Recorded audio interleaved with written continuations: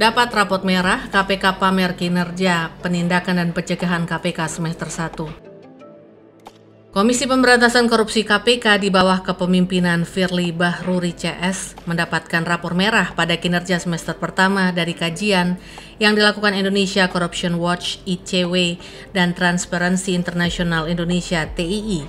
Menanggapi hal tersebut, pelaksana tugas juru bicara penindakan KPK Ali Fikri mengatakan pihaknya menghargai atas inisiatif masyarakat sipil untuk mengawasi kinerja lembaga anti rasuah itu.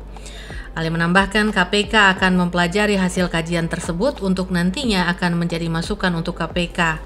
Seakan ingin menepis hasil kajian yang memperlihatkan kinerja buruk KPK, Ali memaparkan hasil kinerja KPK pada awal semester itu. Ali mulai membahas tentang capaian kinerja KPK dari segi penindakan, di mana setidaknya terdapat 30 surat perintah penyidikan dengan total 36 tersangka.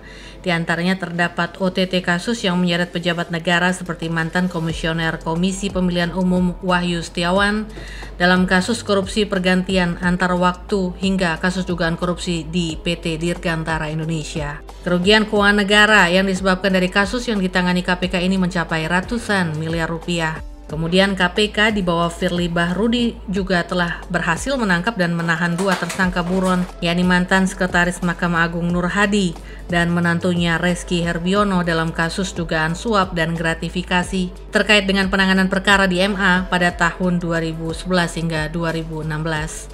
Sehingga selama tahun pertama, KPK berhasil menahan 27 tersangka korupsi. Terakhir dalam bidang pencegahan, KPK telah melakukan pencegahan korupsi di sektor strategis seperti pemantauan dana COVID-19, koordinasi supervisi pencegahan terintegrasi, serta program pencegahan lainnya seperti terus mendorong kepatuhan LHKPN. KPK juga telah menyurati Presiden Joko Widodo terkait rekomendasi kajian BPJS Kesehatan mengingat sejumlah rekomendasi perbaikan belum dijalankan oleh pemerintah. KPK juga terus mendorong kepatuhan penyelenggara negara dan pegawai negeri untuk melaporkan penerimaan gratifikasi yang dilarang.